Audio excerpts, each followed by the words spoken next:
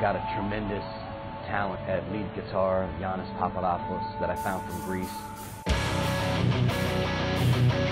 Greece.